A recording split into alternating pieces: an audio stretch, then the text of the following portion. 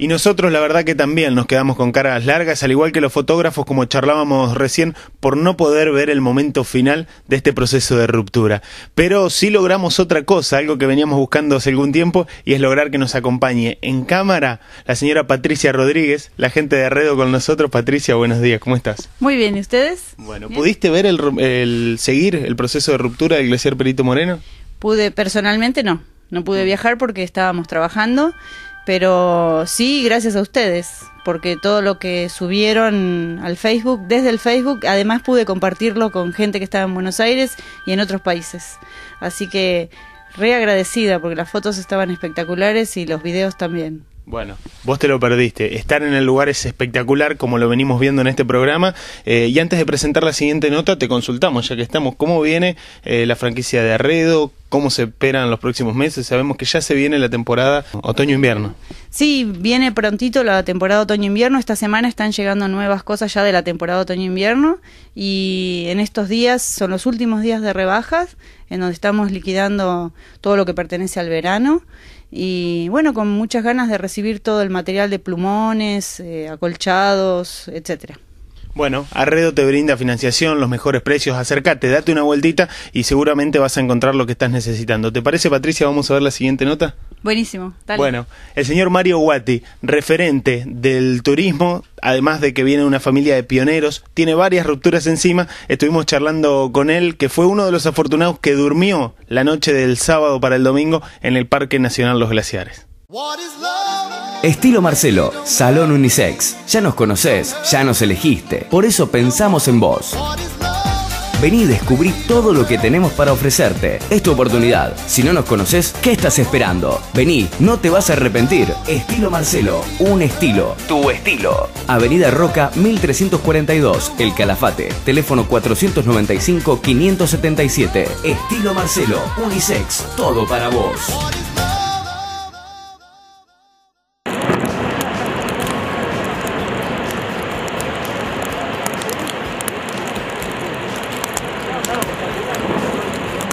Seguimos en este domingo post ruptura del glaciar Perito Moreno, lamentablemente, como decíamos, con la imagen que no queríamos encontrar, y estamos en este caso en compañía del señor Mario Guati, director de Nativos de la Patagonia, justamente donde nos encontramos en este momento.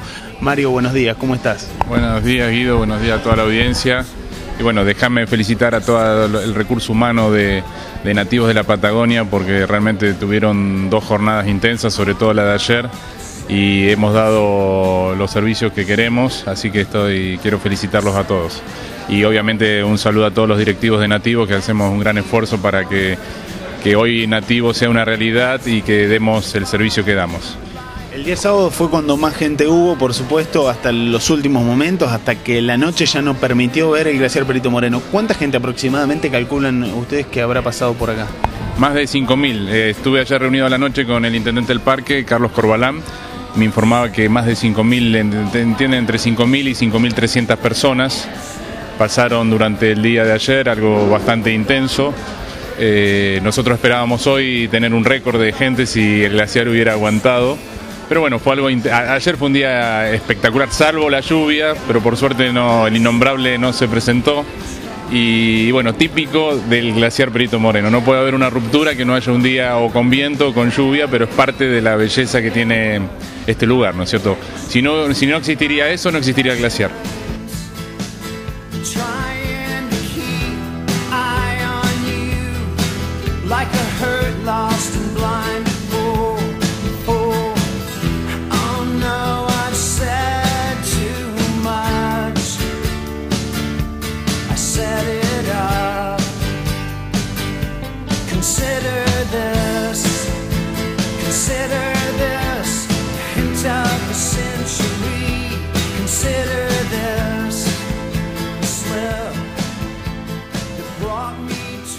El parque cierra por la noche, la noche no nos deja ver el glaciar Perito Moreno, pero eh, por convenio la gente de nativos puede permanecer hasta seis personas durmiendo adentro del Parque Nacional Los Glaciares. Mario fue uno de ellos.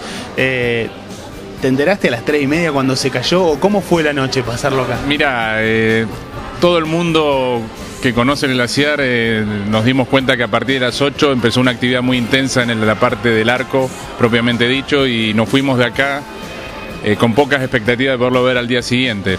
Justamente es lo que sucedió, yo estaba acá escuchando los, ruidos y cada ruido me, partía el corazón porque uno sabía que no, no, no, no, no cesaba la actividad y uno sabía que era inminente la caída del arco.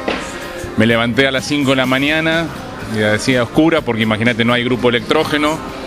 Eh, bueno, me fui sin ver nada y puse la cámara con un trípode y con el obturador, viste que podés hacer prolongar la exposición. Gracias a la cámara me di cuenta que el techo ya se había caído y bueno, una tristeza absoluta, pero bueno, disfrutándolo a pleno porque también había uno, seguía habiendo desprendimientos muy importantes y bueno, eh, triste por un lado, pero bueno, sabemos que el glaciar es así, es femenino, para mí es la glaciar. Es caprichosa. es caprichosa, pero bueno, por eso es mágico, por eso es tan bello y lo amamos tanto, ¿no?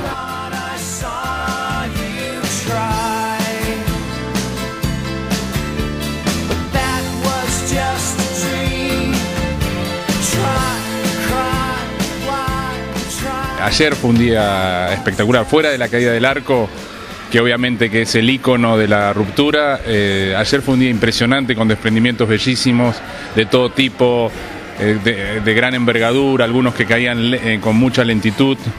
El glaciar muestra unas expresiones en imágenes tremendas. Tuve la suerte de fotografiar algunas, algunas cuotas de imágenes muy interesantes. Es una cosa increíble y bueno, eh, también destacar la, mm, quiero destacar la actividad de los guardaparques y toda la intendencia del parque que fue tienen altos niveles de responsabilidad y bueno el parque se comportó muy bien. Fue eh, la primera ruptura donde estaban todas las pasarelas que eso también fue muy interesante disfrutar de todas las pasarelas y la conectividad que tiene esta parte con la de abajo. Así que lo disfrutamos en plenitud y bueno, eh, agradecer a todos los medios también que la cobertura que le dieron y bueno, seguirlo disfrutando día a día y esperar cuatro años más o menos para, estar acá eh, a pleno como de costumbre. Es un fenómeno tan grande que nos invita a venir cuantas veces sea necesario y estar ahí 14 horas bajo el agua como estuvimos ayer, disfrutando y emocionándonos de cada movimiento y cada expresión que, nos da el glaciar. Es paradójico, pero bajo el agua, 14 horas realmente y con frío lo disfrutamos. Gracias, María. Gracias a ustedes.